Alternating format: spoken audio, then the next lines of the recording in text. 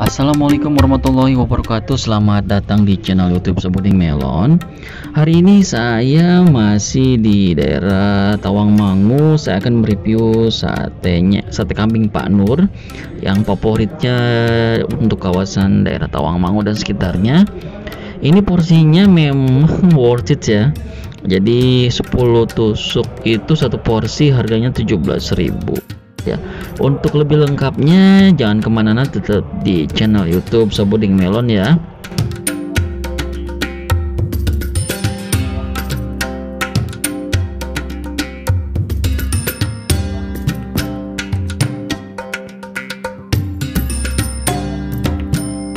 Ini Gunung Lawu nah ini sate kambing Pak Pur Tawangmangu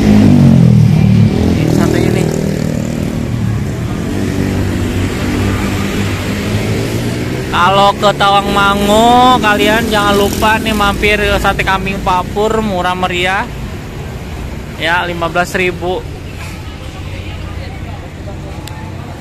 Ini Gunung Lawunya nih Masya Allah, Masya Allah.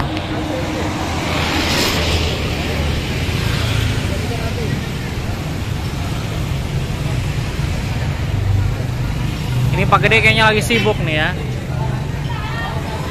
Halal ya nanti kita cobain rasanya gimana nah ini cara bak uh, posisi ngebakarnya nih oh, keren guys wow.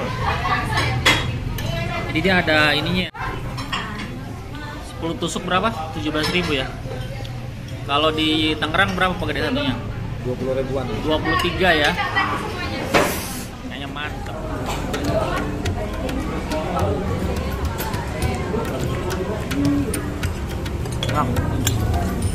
sate Pak Pak Nur ya, Pak Nur ya. Namanya? Pur. Apa bang?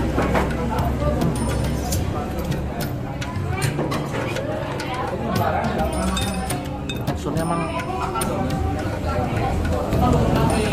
gede-gede.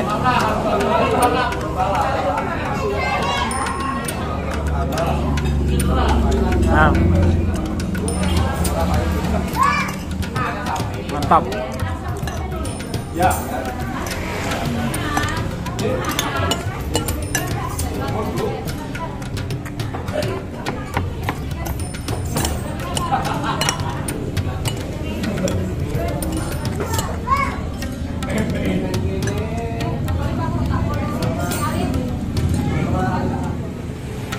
Kita review sate papur lagi nih. Wah mantap guys. Oh, ini ada ininya? Enak worth it nggak pak pak worth it. Worth it ya. Worth it ya oke ya. Wow, ini tongsengnya harganya 15.000 sama nasi jadi 13 eh 18.000 kalau sate 17.000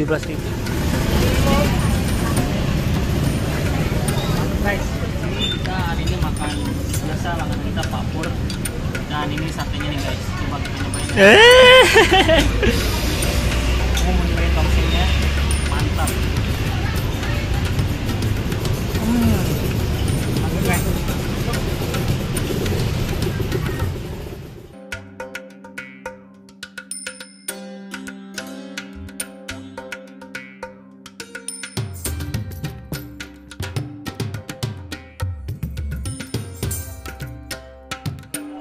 ini bang Pak Gede ini lagi pada makan ya. Ini sate 15.000 eh 7.000 ya Pak Gede ya? 7.000 ini juga sama. Terus ini ini case spesial ya ayam goreng kalah. Di Selamat Riyadi nggak ada nih ya khusus orang tertentu aja yang bisa kebeli ini bukan yang porsi 8 ribuan ya harganya ya ini kalau ini 8 ribu wow. kok ada ini sih? Ada tatakannya ini buat tatakan apa ini? Oh, ini 8000 baru ini guys. Wow, sambalnya ada dua, satu, dua. Ini. Terus ayamnya segede alaihim ya. Tuh. Kok udah laler?